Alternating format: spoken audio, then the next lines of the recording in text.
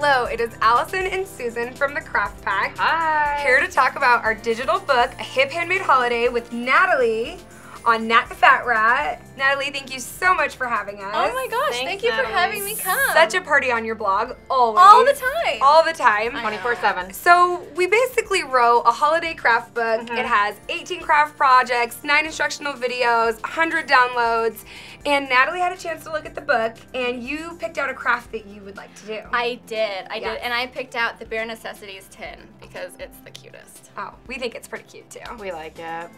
We have a lot of instructions for this craft in our book, but I love, Natalie, how you made it your own. So, how about you tell us about that? Well, let me tell you. So I live in New York City, and I have a very small apartment. I don't have a craft room. Your apartment is adorable. Thank you. Yeah, I, I work love it. really hard on it, but you know, it's I don't really have like, Space. room Yeah. for big crafts. We understand. And furthermore, my friends that I'm giving gifts to don't have room either. Mm-hmm. So I had to find something that was going to be that I could actually do and that Yeah. they could actually enjoy. And so this tin is perfect because, well, for one thing, it's a tin and you can reuse it and build Yeah. in different ways when you're done.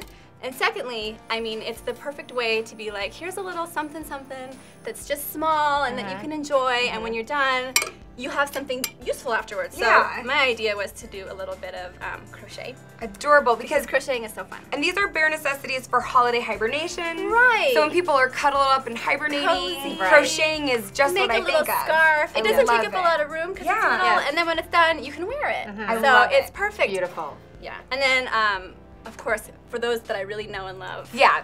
What I'd actually probably put in is a little Right. something something. Because that's a true bare necessity. Now right. we're talking about surviving the winter. Yeah. Right, now we're talking. Survival mode It in a can. cold and Maybe a dark. little Yes. chocolate. A lot of chocolate, maybe. Yeah, yeah. yeah. I think that's a really good idea. I love it. I love how you put your own twist on bare necessities and what you define those as. The Nat the Fat Rat style. Yes. Um, tell us some of your holiday traditions.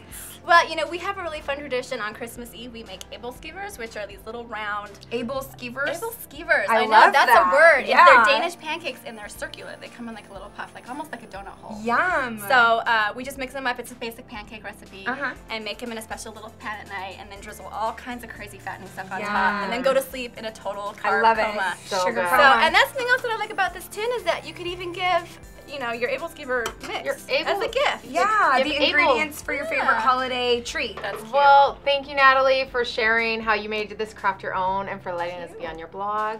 We love being here. Anytime. The It's girls are so the much greatest. fun. the Thank most talented ladies I know. We love to craft. Oh, you do, and you've got such taste. Oh, I thank tell you you. what. Thank you. Stop. Weird. And you're also both really tall. Oh, I Yeah, cannot no. stand this. Stop. You're so fun.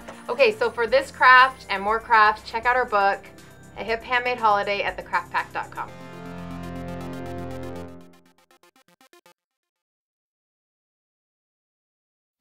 Great neighborhoods can happen anywhere. If you have neighbors, you can have a neighborhood. All it takes is a little spark of action. After all, neighbor isn't just something you are, it's something you do. And there are a million ways to do it. Wonder where to start? Well, we can help with conversations, tips, and tools for building communities and bringing folks closer together.